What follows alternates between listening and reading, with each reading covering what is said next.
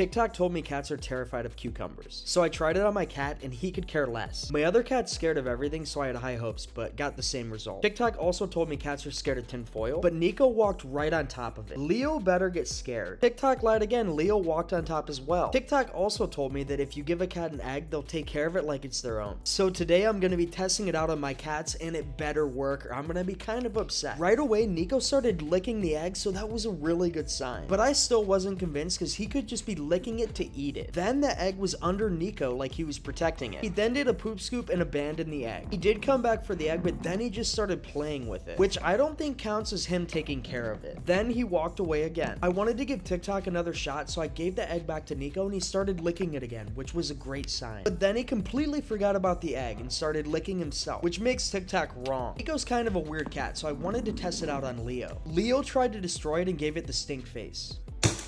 TikTok lied again.